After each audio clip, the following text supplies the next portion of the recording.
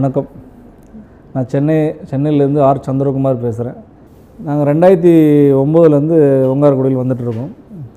எங்கள் அப்பா பேர் ராமமூர்த்தி பெரிய அண்ணன் ஆனந்த் கண்ணன் எங்கள் அக்கா ஒரு அக்கா கவிதா இருக்காங்க. நாங்கள் என் பேர் வந்து ச சந்திரகுமார் நான் மொத்தம் நாலு பேர். ஐயா வந்து ரெண்டாயிரத்தி பத்தில் வந்து பார்க்கும்போது சாதாரணமாக நம்ம அப்போ வந்து நம்மளுக்கு அசைவம் எல்லாம் சாப்பிட்டுட்டு தான் இருந்தோம். எல்லா பழக்கத்தோடு தான் இங்கே வந்து பார்த்தோம் ஐயாவை. ஆரம்ப காலத்தில் வந்து பார்க்கும்போது ஐயா வந்து உபதேசித்தாங்க. இந்த மாதிரி சைவத்தை தான் கடைப்பிடிக்கணும். சைவம் தான் நம்மளை காப்பாற்றும் அன்னதானத்தை பற்றி சொன்னாங்க. அப்போ நம்மளுக்கு அது புரியல. அதுக்கப்புறம் படிப்படியாக ஒருத்தர் ஒருத்தராக எங்கள் வீட்டில் எல்லாம் மாறினாங்க. அதில் எங்கள் அண்ணன் இன்னொரு அண்ணன் கண்ணன் சொல்லி அவர் மாறினார். அப்புறம் அம்மா மாறினாங்க. அப்புறம் இன்னும் பெரிய அண்ணன் மாறினாங்க. அப்புறம் அப்பா மாறி. அதுக்கப்புறம் அண்ணி எல்லாம் மாறி அதுக்கப்புறம் நம்மளுக்கு இந்த வாய்ப்பு எனக்கு இந்த வாய்ப்பு ரெண்டாயிரத்தி பதினாலிருந்து ஐயா கொடுத்தாங்க. முதல்ல சைவமாக மாறணும். அதுக்கப்புறம் தீய பழக்கங்கள்லாம் விட்டுட்டு அப்புறம் ஐயாவோட நாமஜயத்தையே சொல்லி அப்படியே இருந்தோம்.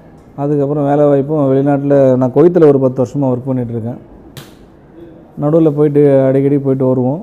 அப்போது வந்து ரெண்டாயிரத்தி பதிமூணில் ஐயாவை வந்து பார்த்துட்டு ரெண்டாயிரத்தி பதினாலு ஜனவரி மாதத்தில் வந்து ஒரு சின்ன ஆக்சிடெண்ட் ஆகிடுச்சு எனக்கு. அது ஐயாவோட கருணையால் தான் நீங்கள் எனக்கு உயிர் வந்து தப்பிச்சது. ஒரு முப்பது அடி உயரத்துலேருந்து கீழே விழுந்துட்டேன்.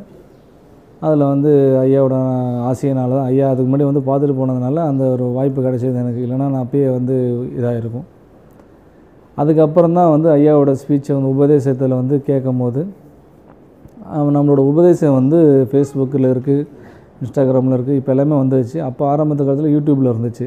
ஒங்கரக்குடியில்னு சொல்லி ஒரு இது இருந்துச்சு. அதில் நம்ம எல்லாமே கேட்போம்.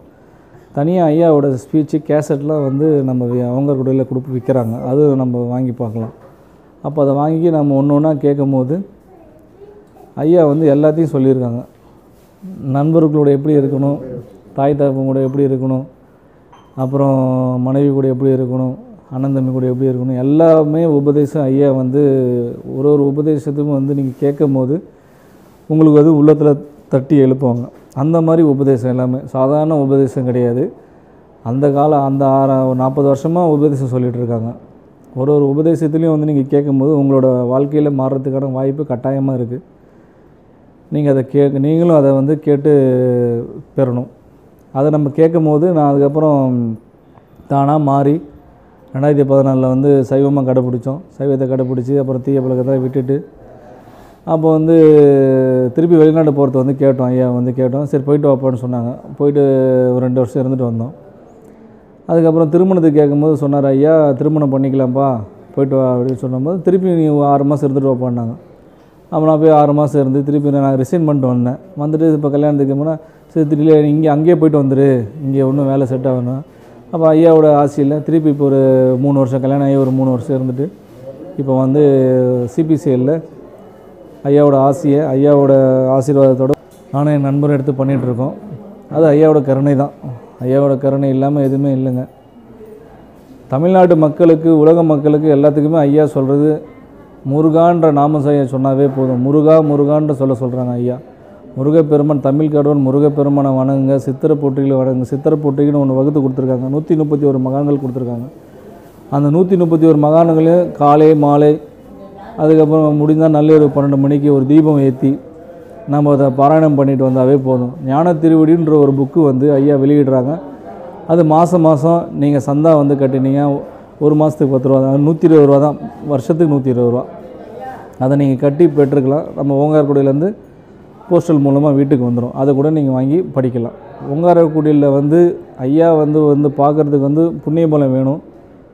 வந்து எல்லோரும் வந்து பாருங்கள் ஓங்காரக்குடியில் வந்து ஐயா வந்து பார்த்தீங்கன்னாவே உங்களுக்கு பாவம் தீரும். புண்ணிய பலம் பெருகும் அன்னதானன்றது என்னவேன்றது நம்மளுக்கு தெரியாது. இங்கே வந்ததுக்கப்புறம் தான் தெரியும். அன்னதானம் நம்ம பண்ணணும். ரெண்டு பேருக்கு சாப்பாடு கொடுக்கணும். மூணு பேருக்கு சாப்பாடு கொடுக்கணும். அன்னதானன்றது நமக்கு தெரியும். நம்ம ஆரம்ப காலத்தில் அன்னதானம் எங்கன்னா நடந்தால் நம்ம போய் சாப்பிடுவோம். ஆனால் இப்போ ஐயாவோட ஆசையில் ரெண்டாயிரத்தி பதினஞ்சுலேருந்து நம்ம வீட்டில் இப்போது எல்லோரும் சேர்ந்து பண்ணிகிட்ருக்கோம் இப்போ பெரிய அண்ணன் அண்ணன் எல்லாம் சேர்ந்து பண்ணிகிட்ருக்கோம் வாரம் வேலைக்கிழமையானா குறைஞ்சது ஒரு அறுபது எழுபது எண்பது தொண்ணூறு நூறு பேருக்குள்ள சாப்பாடு. அது வந்து கிளம்புன சாப்பாடு.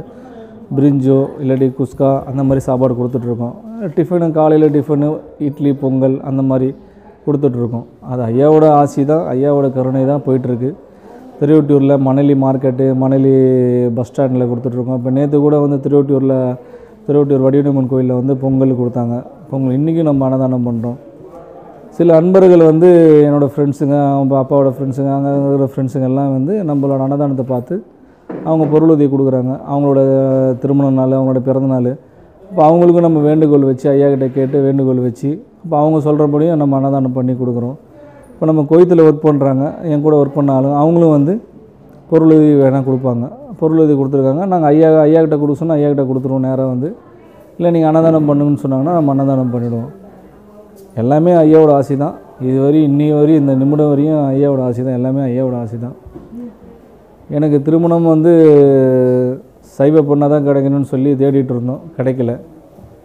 அதுக்கப்புறம் மானசீகத்தில் மானசீகமாக வேண்டி அதுக்கப்புறம் திருமணம் ஐயாவோட தலைமையில் திருமணம் நடத்தி கொடுத்தாங்க. ஓங்காரக்குடியில் தான் நடத்துனாங்க. அதுக்கப்புறம் ஒரு பையன் பிறந்தார். பையன் பிறந்ததுக்கு பையனும் ஐயா தான் பேர் வச்சு கொடுத்தாங்க. பையன் பேர் வந்து சண்முகநாதன் சொல்லி ஐயா வந்து பேர் வச்சு கொடுத்தாங்க. எங்கள் குடும்பத்தில் வந்து எதுவுமே என்னோட எங்களது தாயாக தந்தையாக சர்க்குருவாக எங்களை வழிநடத்துறது ஓங்காரக்குடி விலாசம் தான் எங்களை வழிநடத்துகிறாங்க அவங்கள வந்து பாருங்கள் நீங்கள் எல்லோரும் வந்து அவங்கள பார்க்கணும். நீங்கள் பார்த்துட்டு உங்களோட அனுபவத்தை நீங்கள் வந்து சொல்லணும். ஆரம்ப காலத்தில் நாங்களும் வந்து ஒன்றுமே தெரியாமல் சும்மா வந்துட்டு போகிறோம் எல்லோரும் வர மாதிரி வந்துட்டு போனோம். வந்துட்டு போய் பார்த்துட்டு போனோம். ஆனால் நீங்கள் அந்த போற்றி தொப்பை படிங்க. போற்றி தொப்பை படித்து ஐயாவோட உபதேசத்தை கேட்டிங்கன்னா நீங்களும் சைவத்துக்கு மாறுறதுக்கு வாய்ப்பு கிடைக்கும். நீங்களும் புண்ணியவனாக மாறலாம். நீங்களும் அன்னதானம் பண்ணலாம். அன்னதானத்தை பற்றி நீங்கள் தெரிஞ்சுக்கலாம் முதல் நம்ம ஆரம்பத்தில் அஞ்சு பேருக்கு தான் அன்னதானம் பண்ணோம். இப்போ நூறு பேர்கிட்ட நம்ம அன்னதானம் பண்ணுறோம் அது ஐயாவோட கருணை தான். அதனால் நீங்களும் எல்லோரும் வந்து பாருங்கள் நாங்கள் பெற்ற இன்பத்தை நீங்களும் பெறணும் என்று உங்கள் திருவடி பணிது வேண்டி கேட்டுக்கிறேன். நன்றி வணக்கம்.